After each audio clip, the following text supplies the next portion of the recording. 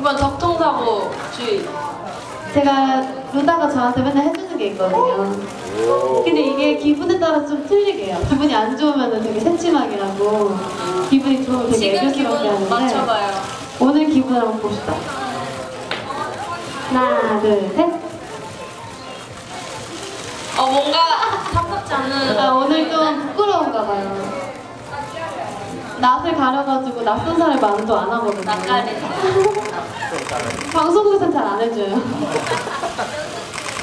연습실에서 완전 기분 좋게 해주고 방송국 가면은 되게 그냥